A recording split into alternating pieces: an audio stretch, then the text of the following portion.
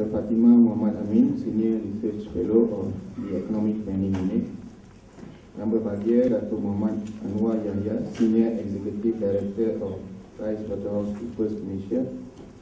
Mr. Fred Watson, Mr. Jan Lemarets, and other members of PwC, PwC team. Yang berbahagia Dato'-Dato', Datin-Datin, distinguished guests, ladies and gentlemen. Good morning and welcome the stakeholder engagement session for the study on industrial estates development in Malaysia. We are honored and thankful that to have everyone here for taking a time out of your busy schedule to participate in this session.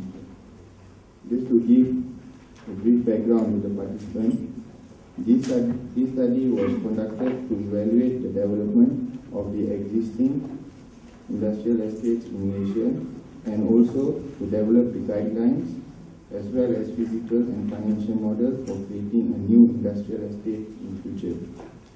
Hence, the stakeholder engagement session is held today to present the findings of the draft by PwC, which is the consultant, for the study and most importantly, to seek the participants' views or feedback on the proposed development guidelines for industrial estates. To begin with, I will now invite Mr. Darain for Doha dissertation.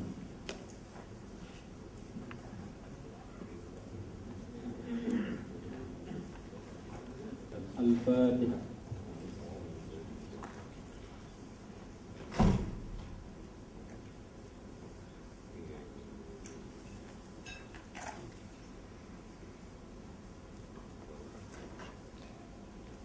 بسم الله الرحمن الرحيم الحمد لله رب العالمين والصلاة والسلام على أشرف الأنبياء والمرسلين وعلى آله وصحبه أجمعين In the name of Allah, the most gracious, most merciful.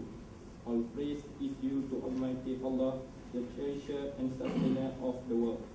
May the peace and mercy of Allah be upon His Prophet Muhammad, his families, companions, and followers. Allahumma ya Hanan ya Manan. You are the one in power, the one full of knowledge. We pray for your guidance and blessing for today's stakeholder engagement session. Study on industrial estate development in Malaysia. May this event be a faithful one. May all our efforts to achieve successfully propel Malaysia towards becoming a vibrant, resilient, competitive, and a high-income developed nation. We forever seek your blessings.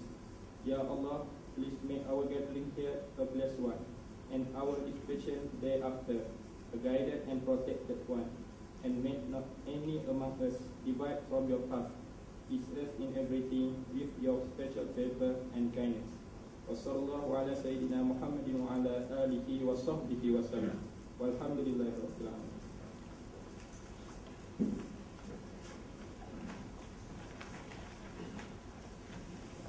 Thank you, Mr. Darain. And now, without further ado, it is our pleasure to invite Yang Besar Dr. Fatima Muhammad Amin, Senior Research Fellow of EPU, to give an opening speech. Dan selamat pagi, morning to all.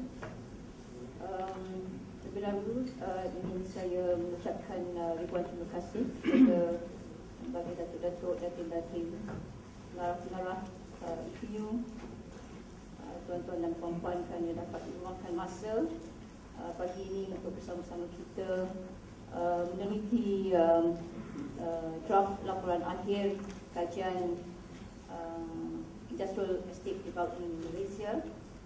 Um, dan uh, untuk um, sesi pagi ini um, tujuannya ialah juga um, validation from uh, various stakeholders uh, mengenai saranan-saranan yang telah dikemukakan oleh pihak Fakrudin um, dan uh, uh, supaya uh, apabila kita uh, serahkan uh, laporan ini dan terima oleh kerajaan kita dapat uh, melaksanakan um, apa um, saranan-saranan ini dengan lebih uh, teratur dan uh, dan terkesan.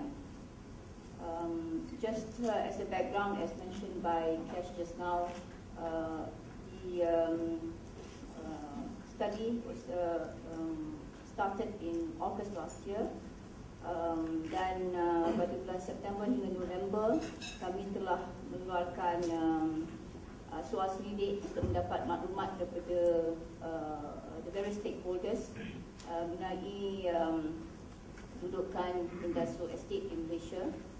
Uh, dan uh, pada uh, apa uh, I will take this opportunity untuk uh, mengucapkan ribuan terima kasih kepada uh, semua pihak yang telah memberi kami uh, kerjasama sepanjang uh, uh, uh, kajian ini dilaksanakan. Uh, dan uh, kami sungguh uh, apa, um, we appreciate all your feedback. Although it was uh, um, I would say uh, a very tedious and hard um, um, you know uh, it was a tough journey for us in the last six months um, to gather all this information and to make some sense out of the situation in Malaysia. Maybe uh, um, we have come to the uh, almost to the end of the uh, the study. Um, draft laporan akhir telah pun uh, dikemukakan oleh uh, pakar runding dan we have really uh, all the stakeholders uh, to give us the final feedback, uh, uh, the final validation of uh, whether the recommendations are know, practical, uh, um, implementable, so on. So uh, untuk um, meneruskan uh, uh, pagi ini, saya ingin uh, uh, izin untuk uh, uh, meneruskan sesi dalam bahasa Inggeris. And um, would like to uh, um, introduce to you uh, the uh, our uh, consultant, uh. Datuk Anwar is uh, in the center there, um, and uh, Anwar, could you please uh, introduce your team?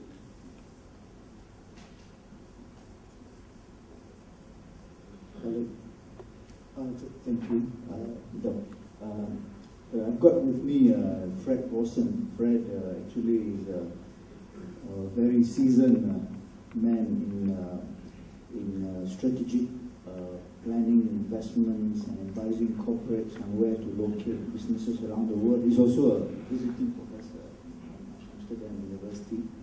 So Fred is uh, all the way from Belgium, Belgium office, our PwC uh, uh, Center of Excellence. And I've got uh, Jan Desmarets. Uh, Jan is uh, working closely with Fred in, in helping companies, governments around the world to, to look at investments from a strategic point and also to, to, to help companies locate their investments around the world.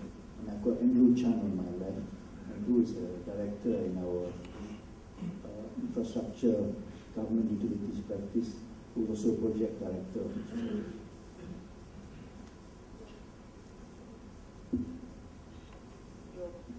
Thanks, Dato'. Uh, the rest of the team uh, comprises uh, uh, our colleagues from PwC Belgium as well as PwC Malaysia. Starting from the left, uh, got Annabelle, uh, Vera, who is from PwC Malaysia, Marina from PwC Malaysia, San, uh, no, Katrina, uh, Sandy, and then Tom. without further ado. Okay, the, uh, agenda for this morning, uh, we will give you some background of the study. I know some of you uh, uh, have already attended some of the sessions and you know the methodology that we have used, but for the, uh, uh, for the others who have uh, uh, maybe um, been to the session for the first time, uh, we'd like just to go very quickly with you how we approach the study. Uh, there's some conclusions from the findings over the last five, six months, and um, uh, recommendations, and this is a very important part. Uh, the uh, major recommendations will be highlighted to you and, and discussed in detail, and then we will wrap up the session. So um, for the uh, before the break, we will uh, give you some uh, first uh, three parts: uh, the introduction, methodology, some overall findings, and then we will go through with you the detail of the uh, um, uh, the recommendations of the break. Okay, at, at one o'clock this lunch.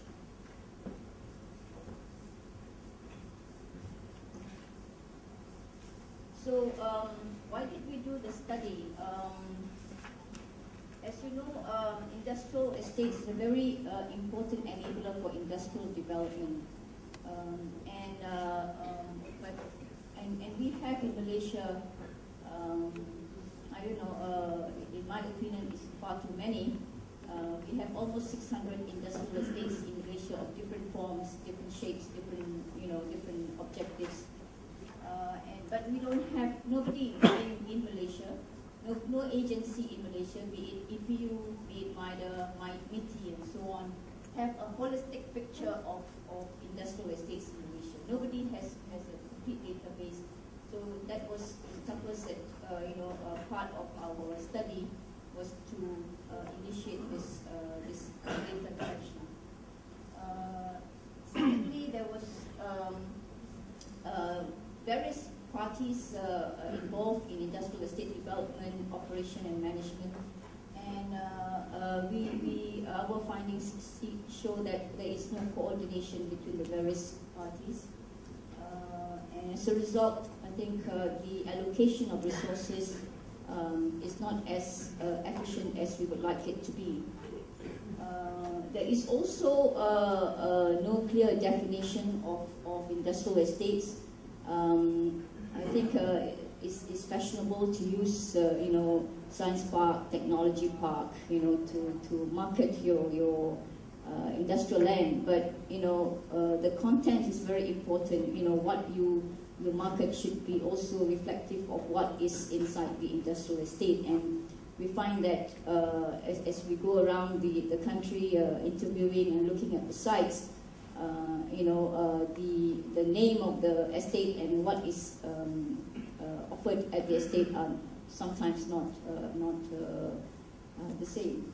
So I think we need to have some more systematic way of, of designating and, and uh, testifying on industrial estate. And, uh, and also, uh, uh, it's very important is uh, multiple overlapping funding. Uh, of course, uh, in, for, for purposes of development, uh, EPU is the main agency that provides the development fund for the industrial estate development and infrastructure. But there's also other uh, sources of funds. We have uh, MOF also gives uh, some funds. Uh, we have the state agencies also have some fund, and also uh, private uh, sources of funds. So there are multiple and overlapping, uh, um, uh, you know, channeling of funds, and, and I think all these things uh, could be improved. So that was the reason why, the main reason why uh, you decide that I think it's time for us to review and take stock of what's happening down on the ground and see how best to move forward and, and improve our um, uh, resource allocation and also to improve the, uh, um, the marketability of our uh, industrial estates uh, in view of the fact that you know there's plenty of competition now. I mean, maybe uh, um, 30, 40 years ago when we started with the uh, free trade zone or free industrial zone in, in Penang, there was not much competition. But today, you know, around you, Indonesia, Vietnam, Thailand, they are also uh, developing their industrial land in, in a um, perhaps better way. And uh, so uh, we face this competition, so we really need to uh, market uh, and, and develop our industrial estates in a, in a more uh, systematic and, and improved way. So uh, that was the, the rationale behind the study. And um, uh, on that note, let me uh, pass it uh, over to Dato' Anwar for the uh, study. I think uh, when we talk about industrial estates, uh, management, it's, it's actually it's just like managing a business. When I think about it, before you do a business, you'll have to do a conduct a feasibility study, a proper feasibility study, looking at the market, looking at the technical layout arrangements. We look at financing. Uh, we look at operationalizing the, the, the business. So, so the first the first thing is to make sure that we have a proper feasibility study, physical and financial and operational. And then when you think about it, industrial estates is no more, no different from running, as I say, a business.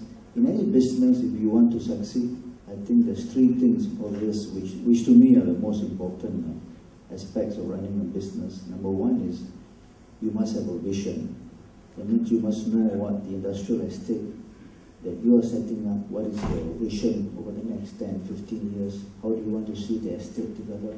What sort of companies do you want to attract? So all that has to be mapped out, the vision. Number two, you must have good people to run. In any business, if you don't have good people, you can have a great vision, you are never able to operationalize the, uh, the business. So make sure you get a good people to run the business who understand the dynamics of the business, who understand the interaction with tenants uh, of the business, and, and, also understand that this is not just a, a, development exercise. It's not just purely developing industrial estates, it's actually managing the industrial estates. So that's number two. And number three, of course, uh, in any business to succeed, you must have discipline. So discipline means that, you know, you've got to make sure that you have the proper infrastructure systems in place. People are doing what they're supposed to be doing and are being monitored. Uh, whether you call it KPIs or whatever, they are being tracked and assessed and, and, and, and you know, and, monitored. So as I said, in any business, three things. So for, for industrial estate, you've got to have vision, you've got to have good people, you've got to make sure that you have instilled discipline. And when you talk about management again, it's not it's not just uh, you develop an industrial estate and then maintain it. Management is much more than just maintaining an industrial estate. It's talking about marketing the thing, looking at the tenants' needs, proactively handling their queries, their requirements, uh, and also financing, making sure that there's enough money to finance the estate, just like any business. So, and we know that monies are not getting easier in this, in this post-2008 crash. So, uh, even governments around the world, including Malaysia, are expecting people to, to go and look for your own funds. I mean, you are looking for private financing. The word is private financing, as opposed to government funding. I think my colleague will be explaining shortly. So uh, the test in future is to make sure that projects that are being put up to the government uh, uh, will need to pass the test of private financing. I think, and it's not only Malaysia, I can tell you, it's all over the world if, you, if we are unable to pass that test, then it's a question of what is the gap that we are talking about. And if the gap uh, is not big, it's not big, and the business makes sense, then I'm sure the government will come in and try to help out. But gone are the days where government will just give you money as and when you ask for it. So I think uh, this is a reality of life. I'm not happy that this is like it, like, like, like this, but it's the way things are, are happening. And things will continue like this. And then uh, we talk about industrial estates again. There's, uh, uh, uh besides the financial element, there's also uh, the physical models and what sort of park management models, which my colleagues will be explaining shortly. You know, there are various management models around the world. You've got to decide what models are suitable for what estates, and and and then if we, if we can if we can do that, share with what's happening around the world, some of their success, some of their failures, then I think we are on the way to to uh, really uh, come up with uh, proper uh, structures for industrial estates. And then we also know that around the world now, uh, we talk about clustering. Classic example is, of course, uh, Samalaju, where it's the industries that are energy intensive. So whatever industries you are, doesn't matter, as long as you, you need electricity, uh, uh, lots of electricity, we've got Bakun and all the other dams around Sarawak to be able to offer a very competitive price for your products eventually. So it's a question of what what is what is the cluster that we're talking about. And again, I think Fred my colleague, he's, he's an expert. I'm sure he can share with you, Fred's, what, what, uh, what it's all about. So anyway, moving on to, sorry, a bit of digression, moving on to slide, uh, the, uh, the next slide. So, yeah, okay, the study, as we say, um, I'm not going to delve into detail as uh, Dr. Fatima has mentioned earlier. We want to know what is the current status and the performance of the industrial estates that we have right now and look at some of the challenges as we go ahead. Uh, because at the end of the day, a lot of you are asking for government help. I think the government is in a situation where how do I decide who to help? So there needs to be some criteria in terms of allocation of government funding, which is very fortunate. And as I said, the word government funding, every time you hear government funding, you should be happy because the, the other extreme is private financing. So there's government funding, uh, it's good, but the government wants to make sure that estates are effectively and efficiently run. And, and, and we are here to, to give advice on some of the best practices on industrial estates. And I mentioned earlier the models, both physical and financial model, and how do we take it forward. Uh, the next slide uh, will be uh, uh the team. I think we've already uh, introduced the team. Basically, we've got steering committee and technical committee looking at our recommendations. We've got a full team here. I'm, I'm the engagement director with Andrew as a project director. And we've got Jan and Marina as joint project managers. And of course, Dr. Fred Rawson here, who's a subject matter expert with Datuk Kazia. And we've got a full team there. So we, we've been interacting very closely. I must thank Dr. Fatima. She's been a fantastic uh, person to deal with. Uh, the level of energy that she's put into this project is amazing. I've done a lot of government projects, but I've not quite seen someone as uh, uh, dynamic and energetic as she is. Certainly, uh, we want you to continue to be with the government percent of your talents. Okay, with that, I will pass to Dr. Fred, who will run through the next few slides. Fred.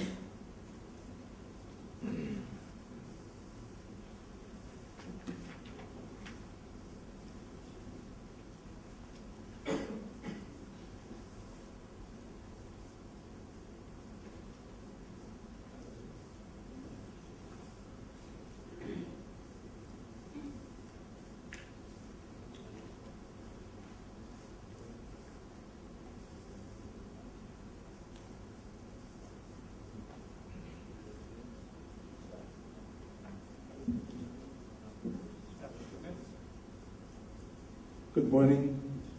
My name is Fred Vossen, and um, as already was mentioned in the introduction, and already mentioned when the team was presented, um, I am from Belgium, as well as my other colleagues from Brussels, capital of Europe.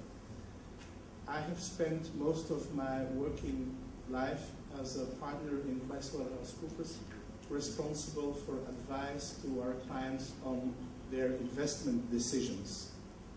And it is over the years that I have been able to advise hundreds of companies and several hundreds of projects on their global investment decisions uh, around the world, Asian companies, American companies, European companies. It is because of that experience that you are faced with, obviously, the team of Malaysia, PricewaterhouseCoopers Malaysia, and that is the reason why you see these weird Belgians around as well. So Belgium has nothing to do with this. It is a coincidence. We are based in Brussels, but our expertise is investment decision making for private companies. And it is um, the approach that we have used to look at industrial estates in Malaysia. And what are they, and how are they, good are they and how expensive are they is entirely based upon the philosophy or upon the conviction that you can only be successful with something if you develop something that answers the needs of the market, that answers the needs of what the clients are looking for. So in this case, let's check, let's have a look at the industrial estates of Malaysia and see, is this indeed what investors are looking for?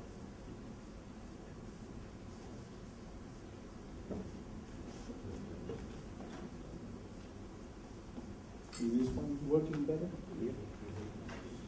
So the, the, first, the first question is, what investments are we talking about? And secondly, how are investment decisions made? And the investments we talk about are investments related to manufacturing, to distribution, to even research and development. It's uh, manufacturing of products, uh, in all kind of sectors, in pharmacy, in chemicals, in metals, in whatever you can imagine. Pure manufacturing, also distribution and even R&D. Whether the company is a Malaysian company, an American company, a Japanese company, European-based company, that does not matter. The companies are all trying to achieve the same thing. They will invest money and they expect a return on investment. They want to see the money back that they have invested, and on top of that, they want to have a little more than the investment made by themselves. Now, a first little definition. The only investments we talk about are mobile investments. This means that when the company identifies the need for new manufacturing capacity, they have a certain choice in where to locate this new manufacturing capacity. If you produce vegetables and um, something that really has to be produced very close to the market because it's perishable, there is no choice in whether I can locate in Malaysia or in China or in Bavaria, Germany. You have to be extremely close to your market. This is a non-mobile investment as Malaysian government, you can do everything and anything you want in order to attract such an investment. It will always fail because the investment has to be extremely close to where the market is. You can have that because things are very perishable, or you can have that because transport cost is going to be too expensive or transport is going to be too difficult. If, for example, you produce empty cans for Coca-Cola, you produce those empty cans very close to where they are needed in the market. You don't produce them in China for a European market because transporting air is the most expensive thing on earth. If you transport potatoes for chip manufacturing, that is a very costly thing. So similarly, there are projects that have to be very close to the raw materials. A cement plant is very close to where the raw material is found. Those are the projects that are not of interest to us. The projects that are of interest to us are those that have a certain liberty and freedom in choosing the location, and they choose the location based upon mainly two criteria, two main criteria. First of all, when a company identifies the need for a new unit, for a new manufacturing unit, they will make, like everybody, a project definition. They will say, what will we make, how much will we make, and what do we need in order to do that? How much land, what buildings, how many people, how much utilities, power, water, so forth. And from that project definition, they start by identifying a long list of possible locations, and finally they will come to a short list, and afterwards to negotiations and a decision. Now the two main subjects in the evaluation, one has to do with the quality of operating conditions, the ease of doing business, how easy is it, how good is the location in terms of quality. If I go to the center of Africa, maybe I have very, very cheap labor, but I don't have infrastructure, I don't have transportation, I don't even have utilities properly, and therefore that is a very difficult environment to work in. If I go to the center of Germany, I have all the highways, the ports, the people, the universities I can imagine. That's the quality of operating conditions. The second subject is the cost efficiency of the location. The second subject has to do with money, has to do with dollars, and has to do with how much do I have to invest and how much can I get as a return. Now, it is in fact not correct to say the first subject and the second subject because they go hand in hand. The first one is equally important as the second one, the second one is equally important as the first one.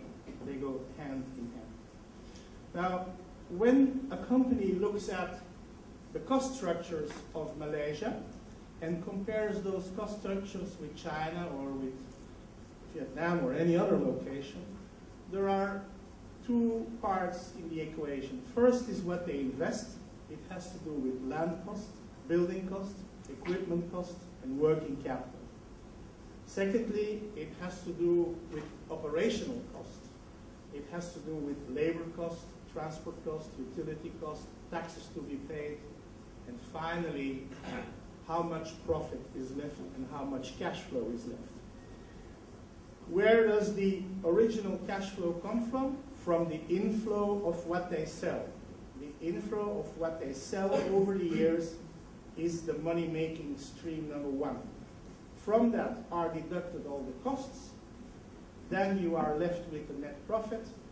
If you adjust for capital allowances, you end up with a cash flow. The fundamental for any company is to have, after a number of years, the lifetime of the project, 10 years, 15 years, 8 years, whatever the project is looked at in terms of number of years, the future cash flows brought at value of today's money, that's what we call discounted cash flows, have to be minimum as much as the original investment made. This is very simple logic, no rocket science. We have to be able to make the same money than what we have invested, and that's the minimum, because if it's only to make the money back, what are we doing? We want to make a little more back. Now, in the report and in the presentation, you will hear many times profitability index. Profitability index is a nice word that you may remember from your university years. It is nothing else but the sum of the discounted future cash flows of what a project is able to make in the future divided by the original investment. And if the equation is that we want to find back our original investment, the profitability index obviously has to be minimum one. If it's not one, it's a bad idea and it will never work and it will never fly. Secondly, what you have to understand is attracting investment, whether it's Malaysian or American or Japanese, is a very, very sad story because there is only one winner. There is one project, and finally the project locates in one country, in one location. They compare many countries, many locations, many regions, many industrial estates. There is only one winner. The second place brings you nothing. In other words, you have to be better than the competition. That is why in the report, throughout the report, when we look at industrial estates, we always look at those quality-related issues of operating conditions in combination with cost structures and is there a good potential for that project to make a return on investment. And that is why, for Malaysia, for a certain industrial estate, the profitability index of one project does not only have to be bigger than one, you have to be as high as possible, hopefully the highest in profitability index in comparison with the competition. And if you're not the highest, okay, let it be, but then it has to be compensated by your quality of operating environment. The loser is the one that does not offer a return on investment for the industrial project. In other words, the loser is the one with the low profitability index and a low quality environment to operate. The winner is the opposite. So I give you this background again because the entire approach is based upon let's do something in Malaysia that answers the needs of the demand side, that answers the needs of what the market wants, that answers the needs of what industrial of what industrialists want. Now, I have to explain you a little specialty in this total business. When I just explained to you, the potential return of investment for a project in Malaysia, that in fact reflect, reflects the pricing of Malaysia. If I say this project in pharmaceuticals can get a profitability index of 2.3, that reflects in one figure the cost structures of Malaysia, the pricing of what Malaysia is all about for this type of investment. This is not to be confounded, this is not the same as the price of land of an industrial estate. Many times people make the mistake in thinking that the price of land of the industrial estate reflects the pricing position, the competitive position of that industrial estate with others. To say that it has nothing to do with it is not true.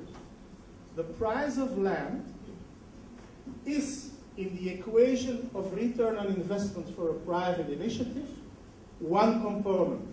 It is even one component of the investment cost. Land cost, building, equipment, working capital, that's the investment cost. The others are labor cost, transport cost, utility cost, tax, and so forth. The land cost of the industrial estate is only one element in the total competitive positioning or in the total pricing of an industrial estate or in the total pricing of a country or a region. On the other hand, the price of land that you get from an industrial estate obviously is the key element in whether an industrial estate makes money or loses money. Makes money and everybody's happy, or loses money and we have to find somewhere money from the government that we spend in order to make it work.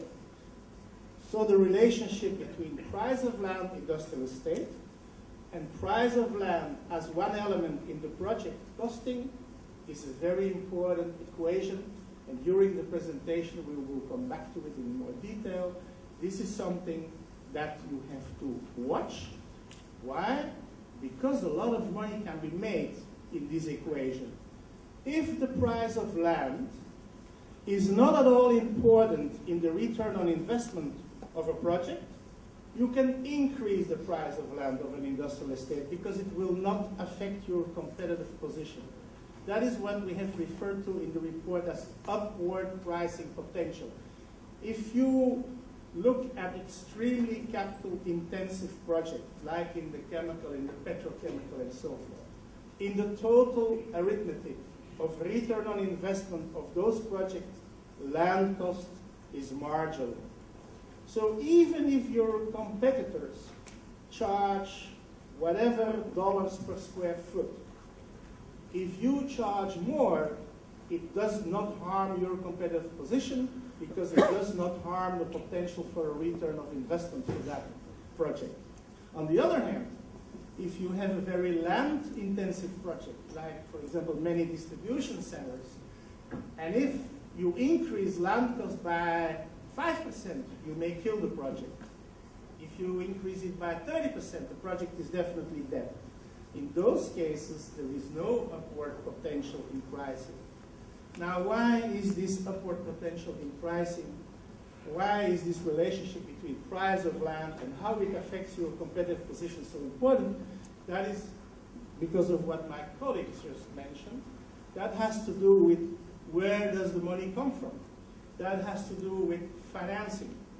And I have to, I will try to explain um, a couple of words and a couple of definitions. And we can always change definition and always change words. But there is a definition between financing and funding. If I have a project and the cost of the project is 100 and over a number of years I can find the 100 back because I generate, for example, 10 times 10 equal at 100. I can always find financing for this project, especially if the project not only brings me 100, but if the project brings me 130. The cost is 100, the project brings 130, I will find financing with banks, with private investors. Everybody will be happy because they know that there will be more cash flows in the future than capex is needed in the present. If I have a project with a cost of 100, and I look at it in the future, and I only find back 70 in the future, I have a gap of 30. That gap needs to be funded. It can be, there will be no private company that comes forward and says, guys, here is the 30. Because no one wants to lose 30. Only the government can come with the 30. Why would the government be so stupid to, be, to put in 30 into a project of an industrial estate or of another infrastructure, a port or whatever, if the cost is 100 and it only brings back 70? The government can do that for very good macroeconomic reasons because there will be employment created, those people will be taxpayers, because there will be a company that pays taxes and so forth. There will be value added created. So even if there is a gap, yes, it could be possible that it makes sense for the government to come with financing funding. Funding, let's call it, for the ease of conversation, funding, it's closing the gap that is needed because there is a difference between cash flows in the future and investments in the present. Obviously, you feel that the gap cannot be illimited. The gap should be reasonable. The gap should be such that we can find other revenues for the government, return to government value added, that accounts for closing the gap and for coming with the funding. I'm, I'm sorry that I, I took so much time on one slide. Believe me, the rest will go much faster. But there's a number of things I wanted to make clear. You cannot be successful with industrial estates if you don't develop a product that answers the needs of the market. And the needs of the market relate to return on investment cost structures and quality of operating conditions. And secondly, be careful in what the price of land is, because to you, to industrial estates, to the government, it is the key income line for the industry that comes. It is only one element, and you should check the elasticity of price of land in the return of investment and see whether there is a source to generate more money and therefore limit, the, limit government funding. I will now hand over to Jan, to my colleague, for the full details on conclusions, approach, recommendations. Uh, we do realize that what we are trying to do today is not fair. We will present in a limited number of slides a huge amount of work, for which again indeed I thank not only my colleagues but also the government, the people that were involved. We had a tremendous support. Impossible for us to do this job as Pricewaterhouse. It was only was only possible because of the cooperation. Yeah. Thank you. Through the different steps that uh, we've gone through uh, with the entire team and um, with uh, EPU um, in order to come to all of the conclusions we're sharing today. And um, I think one of the, uh, the first statements was that uh, there's an, a large number of industrial estates in this country, and, and, therefore we could not visit all of them. We could not um, use data on all of them. Um, it would have been great if, if, if, that would have been possible, but then we probably would have met in 2015. We would not have met today. And um, because we wanted to meet today, and because uh, we wanted to make sure that uh, we could come up with a number of uh, good conclusions, we first of all started the exercise by collecting information on, what we called uh, was a sample of uh, the industrial states. Um, with that sample, and you may recall that we've gone through the details of uh, how we defined that sample um, when we presented some intermediate um, uh, results. Um, with that sample, we're really trying to be as representative as possible. So it was um, a sample of uh, different types of industrial states. It was a sample of uh, industrial states with different level of uh, maturity, with uh, different type of targets, uh, with di different geographical locations. Um, in, in 39 uh, industrial states in the end uh, were being retained in that sample, and a lot of the data that we collected through questionnaires and, and through interaction with the industrial state uh, developers and authorities involved was then used uh, in this study. Um, we used it at uh, three levels to start with. Uh, first of all, we looked at the industrial states um, with the entire rationale that uh, Fred just explained. So we, uh, we kind of tested these industrial states for the identified target industries. We kind of uh, put on our heads of uh, being uh, prospective investors and we started doing the analysis.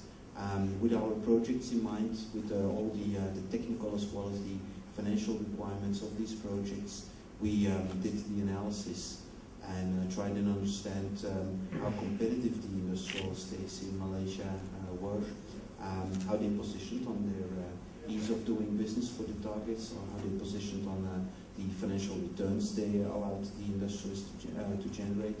And we also did that in comparison with a number of selected uh, international benchmark locations. Now these benchmark locations um, were selected in the wider region just to make sure that uh, first of all we came up with a number of uh, um, interesting uh, conclusions on the competitive position of the country as a whole, but also to make sure that once again we reflected the um, what we call the investors form of view that uh, when the industrialist selects his long list, typically will do that in, in, in a, a region or in a number of countries which allow for similar type of uh, operating uh, conditions. And, and so with that element in mind, um, we did a comparison, we did it against Thailand, China, um, Indonesia, um, Singapore, other countries. Um, all of that allowed for conclusions on what we call the financial performance um, of the industrialist. And so that's a bit of the first pillar you see on the slide. Um, that is what helped us understand the, performance of country.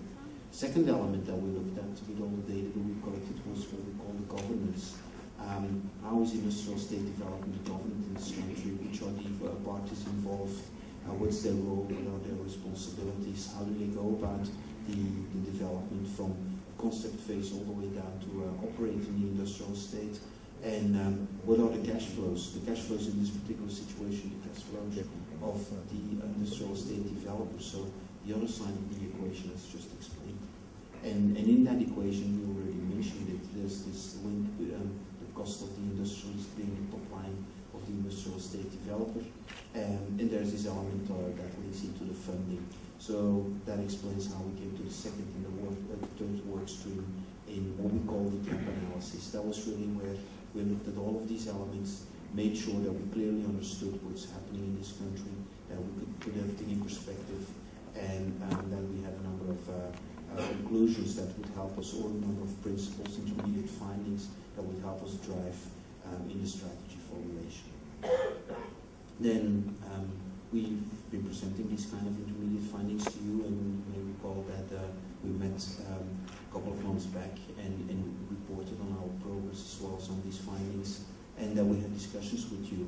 Um, first of all had discussions in terms of uh, um, what we found uh, to be the situation. We also had discussions with you in terms of how you could help us make a better strategy.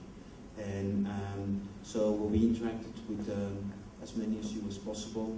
Uh, we also came to visit some of your industrial states, interacted with your uh, um, your tenants, your, your clients, um, and interacted with a number of the uh, what we call to be the, the, the, the stakeholders, people that are involved, people that help define your environment and therefore have an impact on, on your competitive position. We also uh, looked at uh, the, the, the Malaysian development context, and, and there's a number of uh, frameworks, there's a number of, uh, of, of programs that run in this country, and they all impact on, on, on your position. They all impact on, on what we see to be uh, the future. Um, we do not want to reinvent the wheel. We do not want to be smarter than what already has been developed. Um, and so we, we looked at all of these programs and made sure that uh, when we came up with new ideas, that those ideas fit into the overall strategy and, and that they all together become uh, uh, components in, in, in, in a strengthening uh, um, element. So that was um, where we looked at the environmental development framework. And we also uh, wanted to make sure that uh, um, this being a game of international competition, that we understood and we actually learned from uh, what others had done or what others were doing. Um, so we looked at the international uh, competitive environment. We uh, through, uh, through literature harvesting as well as through interaction based upon our experience working in these other countries as well. We came up with a number of uh, elements that uh, we felt uh, could easily uh, influence the situation in Malaysia, could, could easily allow um, for um, a, a documented uh, type of uh, strategy building. And so there was the international um, evidence uh, that we brought together. All of that helped us understand that um, there was a number of real critical elements uh, in terms of financing and funding, in terms of industrial uh, develop, industrial state development in this country, and um, those have helped us uh, to create conclusions. Those have helped us to create uh, recommendations uh, towards and uh, those recommendations had to do with two elements. They first of all uh, had to do with uh, the element of financing itself, the clear scope of this study, but they also had to do with some of the conditions, the, the business environment, the, the, the um, surrounding conditions that have clear influence on um, the performance of the industrial state from a financial and non-financial perspective. And we kind of bundled those together as well. And that is really what uh, created the two thick volumes of a report. And uh, it's not about the quantity of the pages, it's about the quality of the content. Um, and we've been discussing this at length um, internally as well as uh, with EPU and, and throughout uh, the interaction. We, uh, we tried to come up with uh, as strong as possible recommendations, as strong as possible conclusions. Um, and strong in this sense is uh, how to strengthen the position, uh, how to make uh, the industrial uh, estate landscape uh, even more performant than, than it is today. So that's a bit in a nutshell how we've been working together with EPU over the last couple of months. And what we see today, as Fred already mentioned, is uh, um, a, um, a summary of, of all of these findings. And, and I invite you um, to take a weekend off, to take the report with you, and uh, to enjoy the reading. Um, and, and if there's any comments, any questions, obviously uh, feel free uh, to contact us, and we'll gladly uh, discuss them with you. But we wanted to make sure that there was a bit of a teaser for that weekend, and that teaser is today in in the summary of of the report that we bring to you. So um, I allow uh, word now to Andrew. I'll pass the word to Andrew. Andrew will uh, guide us through a number of uh, the uh, the earlier blocks of the study, um, where um, we will share with you uh, the basis of our analysis and, and how we came out to the various conclusions. Thank you, thank you, Jan. Uh, I, I think just to clarify, I, I don't think the participants in this session uh, has the report. For the technical. Uh, yeah, yeah. But uh, after we pass the steering com, I'm sure we'll, we'll get a copy to you when it's finalized. What I'm going to share is uh, some findings and some feedback that we got uh, when we did the questionnaire. Um, we also did some strategy formulation immediately after the interim report. we, as uh, Jan mentioned, we went on some site visits to gather information as well as to get feedback from SEDCs, from tenants, uh, etc. So I'll share some of that uh, before we find before we come to the conclusion section. So just to explain, as, as Doc and as my colleagues here have, have mentioned, we have 595 industrial estates. And I must say that the plan initially was us to select a short list of 100 industrial estates. Once we have information about the 100, we will then select 50, which is representative of industrial estates in Malaysia, both in terms of the sector, in terms of the regional, and in terms of where they are in, in, in their evolution, whether they are startup, uh, whether they are maturing, uh, etc. Uh, and then we'll do the analysis on the 50 so that we can then base the conclusions from, from those 50. As, as Jan says, we can't do 595, uh, we'll do 50. But the disappointing part for me is that we didn't even get the 50. So you will see that, that out of 595, we eventually chose not 100 uh, as we set out in our in our scope. We chose 112. And then we sent this 112 questionnaires, which were quite detailed. And taking on from where uh, Dr. Fred Boston mentioned, this is what investors are looking for. So So the information that we, we ask are not just nice for the study, but investors would want this uh, when they do the initial filter as well as the detailed filter. Um, and, and we came from that perspective. Um, and after much chasing, uh, we only got 39. And of the 39, uh, we got very, very little financial information about how industrial estates uh, were, were, were financially managed uh, and no information about uh, operations and, and maintenance uh, expenditure. So we had difficulty making analysis. We had to do some of the proxies, uh, but that was the starting point. So with the 39, uh, you decided to proceed. So it's, it's not as representative uh, in terms of the, of, of the spread as, as, as, as, I just mentioned. So some of the findings, if I can go through, um, the 39 had all the 12 uh, sectors that MIDA is prioritizing. Um, there was no systematic alignment of industrial estates development. So states and industrial estates were developed uh, not, in a, not coordinated. So we have states which were developing industrial estates, we were competing with other states. So as a result, in the third bullet, you can see that the, the industrial estate score varies. Some are attractive because they are in a good location.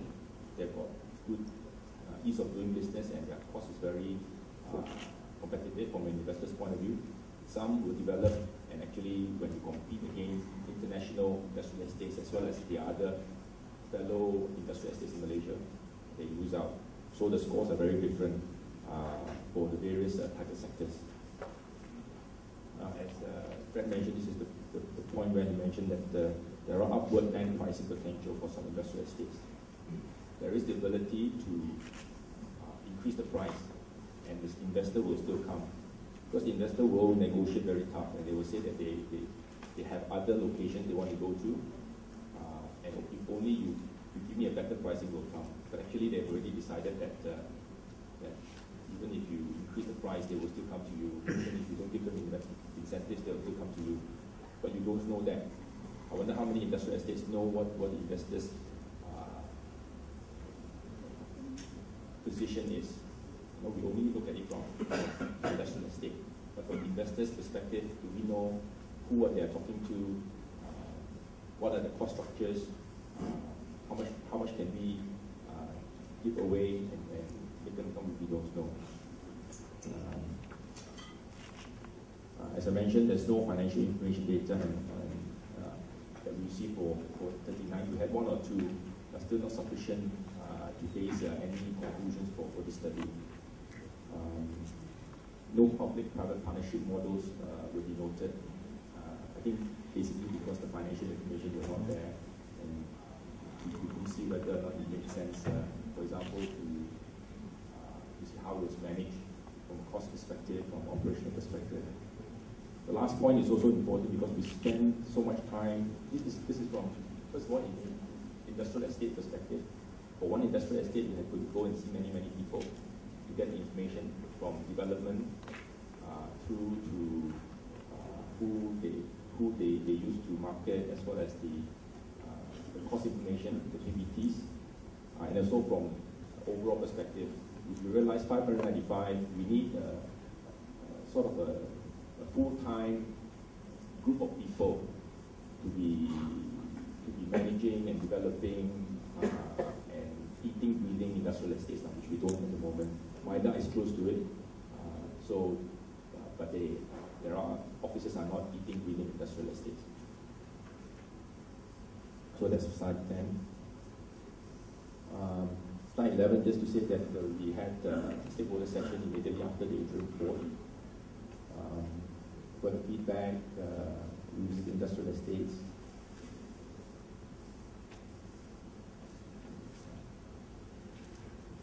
Uh, this was some of the feedback from uh, the site visits that we, we, we made. As, again, as, as Jan said, we, we could go to, to, all of them, uh, but we did as much as we could during the study period.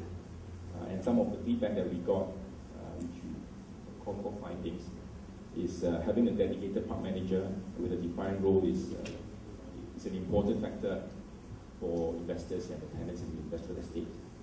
Uh, they're, they're prepared to pay uh, extra uh, if, if uh, having good quality park management uh, is available. They, they want you to engage early with them uh, so there are no surprises and everything is, can be as much as possible anticipated beforehand. And they also mentioned about this human capital development and SME support, which, uh, which is, a, is, is an important part of uh, industrial estate offering. Um, so and then I'll go through the, the, the my last slide, uh, which is uh, taken from the ETP GDP. And the point I want to stress here is the, the last box about the principles of uh, the ETP. I think Dato and, and, and my, my fellow colleagues around the table here already mentioned, which is allocating funding to achieve the highest impact. Yeah.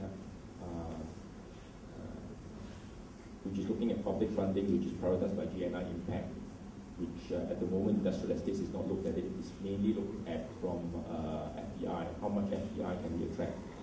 So we don't look at calculating exactly how much employment is created uh, in terms of the tax revenue loss from incentives, uh, how much are we making back in, in other areas of value added, as, as, had, as Fred mentioned. Um, these are good principles which we want to uh, adopt uh, in, in, industrial estates, in this industrial study. transparency, um, and then disperse according to performance. So you will see later that uh, the tool that we have is uh, it's, it's a circular tool where um, if you do well and uh, you bring in the investors, then you, when when we come and look at the second round of funding, then your past performance will be taken into account. So disperse according to performance, both in terms of getting the funding and and uh, making sure that the the, money is used uh, correctly. Then and then when uh, we have to get funding for the second round or for another industrial estates, then this will all be taken into account. So that's all I have uh, to share in terms of the feedback the findings from uh, what was what we got from the questionnaires, the meetings that we had, the feedback that we had with the industrial estates, the strategy formulation session, um, and what uh, is important from the ETP in terms of uh, allocating funding to achieve the highest impact. Um, I pass it back to Dan. Thank you, Andrew. And I said before, I mean, there was this other element that we looked at, um, what, what are others doing, what can we find in terms of um, international studies, and what can we find in terms of international evidence. And obviously, I mean, the, the idea was not to write the, Britannica and industrial states. Um, the idea was really to, to focus on those elements uh, which we found in, in, in our previous uh, parts of the study to be uh, interesting ones and to be particular ones for, for Malaysia. So we kind of focused on three elements which are related to the policy making and policy implementation in, in Malaysia on industrial states, one hand. Second one was uh, all these elements that we could see that uh, would impact on uh, the attractiveness of the industrial estate. And then the last one uh, had to do with, uh, with the management of the industrial estate management and the process of the work, as, as I already explained in, in the introduction. Now, um, on, on the policy one, and I'll, I'll quickly highlight the um, most important ones. I said uh, what we see is that uh, industrial estate development ideally uh, should be embedded in, in, in, a larger policy. Obviously, um, with um, the, um, the, the, different um, um, corridors with the states, with the, the, the, local communities being involved in industrial state development, to, uh, to link industrial uh, policy, which is at the, at the country level, at the federal level, to industrial state development uh, is definitely an element of challenge. Um, best uh, ambassadors and best uh, strategists for their uh, local community um, and, and, for their ideas on industrial state development. You want to allow for that. The same time, you want to make sure that in the end it all gets coordinated and um, and also we're, we're, not creating too much of the same. Um, now, important element there um, in, terms of policy. Also, you want to make sure that um, with um, the supply of land, you actually answer um, to the demands of the market. And, um, and, and there clearly we think that the demand of the market is set where industrialists initially will look at a region and only will country level, and, and later on will uh, will look at the industrial states. Uh, you have to make sure that the positioning of the country uh, is important and that that positioning of the country and then later on um, translated in, in the creation of industrial states that is nicely aligned. On the attractiveness, said, on the demand side, these elements come back. Um, and, and there clearly the industrial state is, is what we call the physical technical component in the overall equation. Uh, we've mentioned before that there's the business environment, the labor market, uh, the policy elements, there's the, the regulations, there's um, the utilities, etc. All of these uh, come together in the equation of uh, the, the company when looking at a location. Uh, industrial state is, is one of those elements. And we can look at industrial states from all sorts of ways. We can group them, and uh, there's different types of uh, industrial states uh, that are being created in this country. we also looked at the evidence around the world on, on, that element. And then um, there's the way you can market it, and the marketing can be done in all sorts of ways. You can create websites. You can try to push as much information on the, the, the, the web as possible uh, that has an impact on, uh, on how you're being perceived. It also has an impact on how you can later on interact with your investors. Uh, we feel uh, we're ambassadors of more face-to-face and more direct interaction uh, as we think that that creates opportunities. That's also what we see around the world.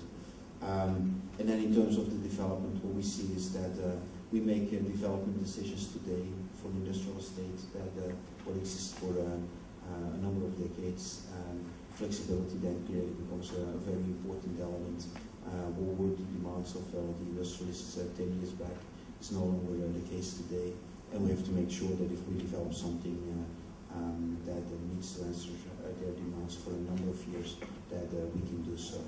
So that really brought us to the summary of conclusions that we would like to share with you. Um, all of that work, as said, captured in, in, the report and, and shared um, with, the, with the, the, the, client allowed us to come up with five key messages.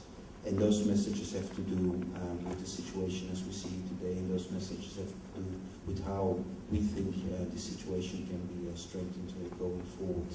First clear conclusion was that there's an oversupply of industrial estate land in this country.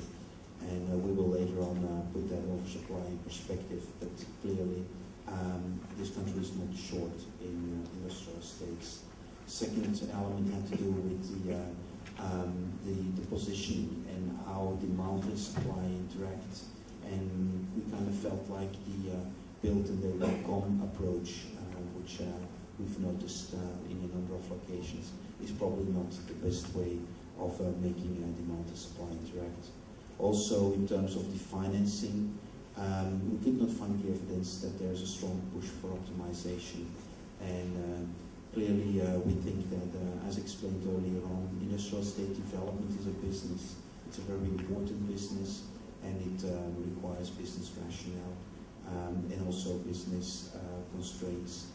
And uh, optimization of the financing is clearly an element that will help there. We also noticed that there's um, a lot of um, um different uh, authorities and, and, different agencies involved in industrial estate development and management um, and in the promotion and the marketing of it. And that probably doesn't help um, to, to get it all coordinated and to make sure that policy and development are nicely uh, going hand in hand. So we made some recommendations there. And, and clearly also in terms of the financials and the reporting, um, when it comes down to funding and um, the monitoring of it, uh, we could not find the level of transparency that uh, we feel, uh, is supportive for all of that. So we will detail these um, five main conclusions in, in, the next couple of slides. And um, we start with the oversupply element. Um, and there I, I quickly like to share with you uh, an, um, an, element that uh, some industrialists uh, that we brought to Malaysia recently shared with us. They kind of talked about Malaysia as the hidden treasure um, in the sense that um, once they were in the country, once they saw all these industrial states, once they uh, talked to the government, to the utility companies, when, when they were studying the labor market, they all felt that these elements nicely lined up. They could find the quality that they were looking for, and they could find it at a, a cost level that was very attractive to them. The only unfortunate thing about it was that they had not known about it. If it wasn't for the fact that a site selection consultant had told them about it, um, they had no perception about Malaysia. And what we feel is that uh, to be unknown is, is probably the biggest challenge. Um, and um, so this industrial state landscape, this country clearly has all of the advantages, and we see great opportunity for further development.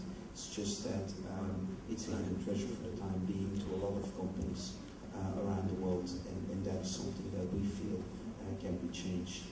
But then to come back to the element of, of oversupply, we kind of uh, put things in perspective a bit, and uh, we looked at the uh, land take-up over the last couple of years, and if we uh, would uh, just for the 39 industrial states and for the data that we received, um, put the available land in perspective to what we see to be the demand, um, recent demand in this country, then actually just in that sample we see supply for seven years to come. Now, taking into account that we have data on approximately 5% of the industrial states in this country, one could argue that with the available land today, you're in place, you're in the business, for the next 140 years. Now that's a lot, and we don't know whether that is really needed. Um, now, put it even further in perspective, bring it from number of years to value, um, and we just did a very straightforward multiplication with 20 rand per square foot uh, on industrial estate land. There's a land bank with a value of 50 plus billion ringgit um, in this country. And, and that's a number that I think uh, attracts attention around the world. And that's the kind of number that makes people uh, get their eyebrows going. And, and I think there's uh, an element here uh, uh, that's a value, that's a treasure. It shouldn't be hidden, first of all. Um, but also that's, that's an awful lot of money and it should be activated in, in the best possible way. And, and, and this kind of investment um, requires attention from, uh, from, from a management perspective, also from a financing perspective. Um, what we saw is, uh, and it has been mentioned before, that there's clear upward pricing potential. We kind of feel that the oversupply potentially is creating an element of what we see to be internal competition, different industrial states in the same country competing one against the other to try and get the, the project. Um, this country should not be competing internally. This country should be competing with the outside world. As many projects as possible should come to Malaysia. Um, and therefore, uh, we should take out the element of internal competition and we should rather be focusing on upward pricing potential. The more money you get in, the easier it will be to get your financing and the easier it will be to be self-sustainable from a financial perspective. And there's upward pricing potential clearly.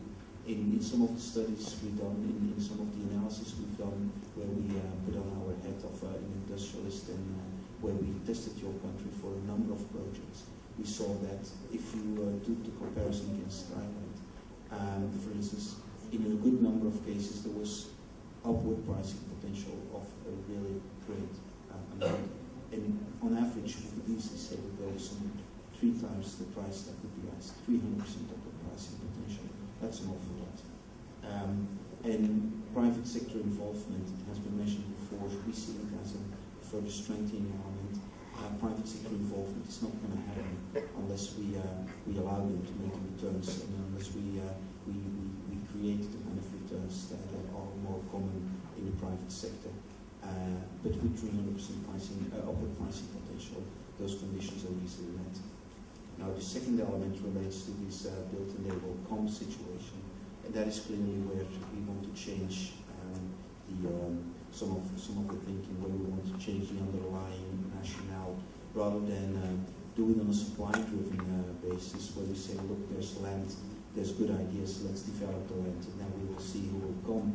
We think that uh, there should be land developed to make sure that um, that land um, is being developed with all of the industrialist ideas in mind.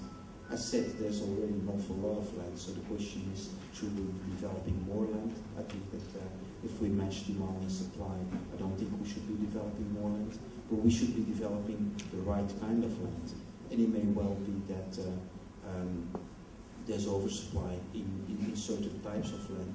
There may well be need to develop new land, but then the new land should be developed for those projects which seem to be making best sense those projects which uh, we think we want to attract, for projects that are in line with the industry policy of this country, the economic development uh, policy of this country. And so let the market define what we build. Let's not build because we think we have the land.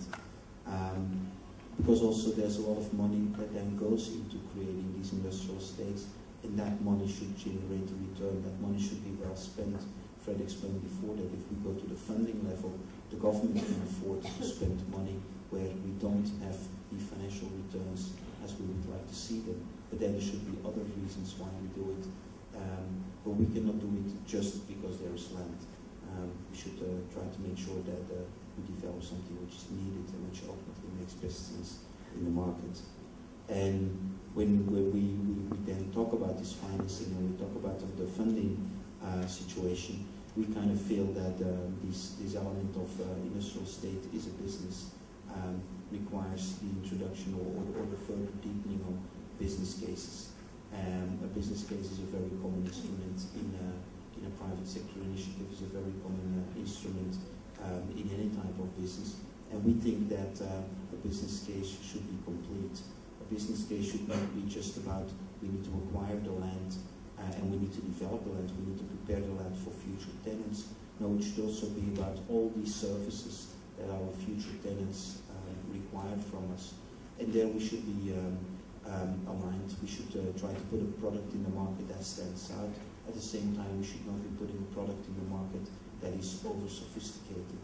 Um, we, um, we've seen initiatives where uh, uh, pre-water treatment, where uh, hazmat product handling, where um, very special conditions for very uh, unique tenants um, are being developed. Um, well, when we develop these kind of uh, elements, we think uh, we, we can strengthen our product, and, and, and, as such, it's a good idea. But let's also make sure that we then charge for these costs, that we charge for the investments that we make as industrial estate developers, and that we charge that at market rates. Um, a lot of these products are available in the market. There's a lot of uh, private sector suppliers that actually come up with these services or products and they charge a price because they feel that they should be generating a decent return. I think there's nothing wrong with generating a decent return as an industrial estate developer either, especially not if, if we're supporting business and if we're supporting private business where shareholder value is uh, clearly on top of the agenda.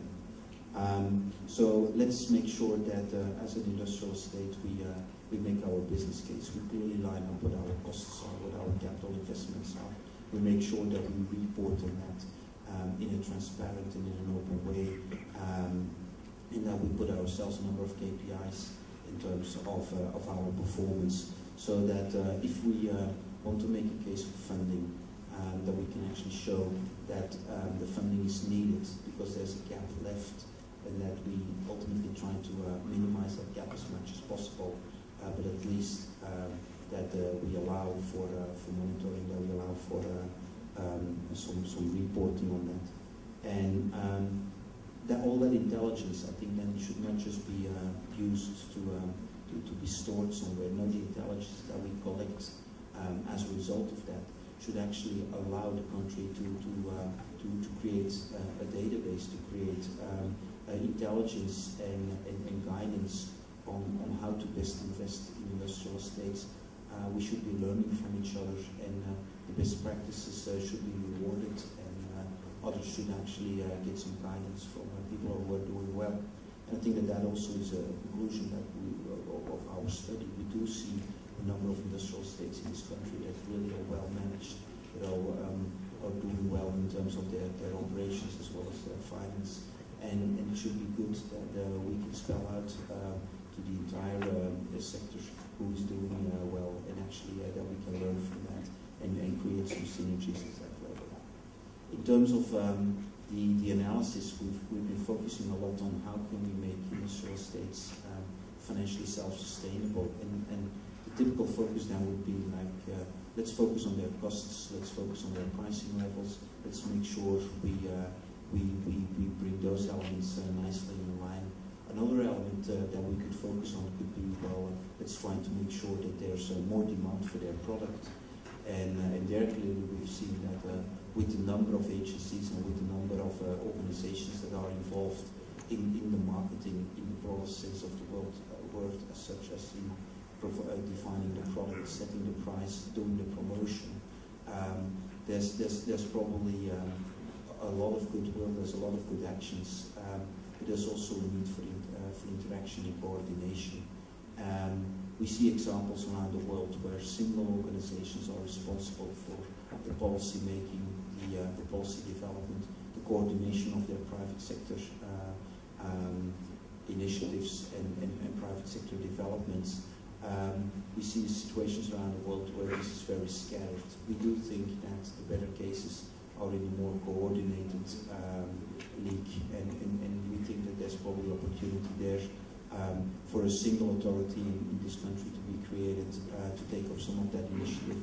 At the same time, they should allow for those who know their locations best to create ideas, um, but it should be coordinated. We should not all be targeting the same type of um, uh, projects. We should be targeting those projects which are best in our locations. And clearly there are regional differences in this country. But all of these regional differences have their unique strengths. They also have their unique weaknesses. And we should be making sure that with the industrial estate, estate development, we actually focus on strengths and do not create supply which is actually uh, more into our weaknesses. Um, the local authorities uh, at this point in time are, are given a lot of responsibility in terms of maintenance and, and maybe that is not doing just to, to, their situation. Maybe you should actually see industrial estates as very strong components in that local environment, but as very strong components that should be managed on their own. And to a certain extent, we, we kind of plead for uh, um, the creation of, of, of a, an organization that takes care of the maintenance of the day-to-day -day operations That can very much be a, an, an, organization at state level. Um, but for that organization to get the financial means as well to actually do maintenance and to do these operations in the best possible way um, and, and, not to, uh, to, to some of those elements with the local communities. Also that park manager um, can be a private sector player if, if uh, it is felt that that is a better uh, organization or a better party to do it but we don't think that that by default should be, should be the situation. We do see uh, situations in this country where it's done well uh, and it's done by, uh, by, by, by, the public side. So um, that, that kind of uh, sums together the, the conclusions we came, came up with in terms of the different levels and the different type of authorities that are involved in the marketing and development. As said, we, we also had some conclusions on the transparency the financial position, the financial performance uh, of these industrial estates. Um, and once again, an important element here, we, we started off with, uh, with a sample and we had actually hoped um, to collect more information um, on, on the financials um, because we think more information would have allowed uh, for a better understanding. Um, we did not get the opportunity to, uh, to collect financial information from all of the 39. Um, it was not always shared, it may have not been available may not, not have been available at the level of detail, um, and therefore it may not have been shared. We don't know. Um, what we did find was that uh, for those who shared information, there was uh, great uh, or, or, great differences between um, um similar cost components. There was uh, uh, great differences in terms of the development cost, in terms of the operating cost, in terms of how money was being spent. Um, so we think that um, um, a more uh, complete uh, understanding and, a more detailed understanding of the financial performance would probably help. Um, it will help to make better uh, decisions in terms of what is being financed by private sector means, what can be funded. Um, and we think that uh, we, uh, we have to make a strong plea uh, for that element. Um, the maintenance cost, for instance, a lot of people complained about it when, when they were asked, and I referred to tenants industrial companies in industrial estates. Um, but we had no clear uh, understanding of uh, how much money was being spent and whether there actually were budgets available.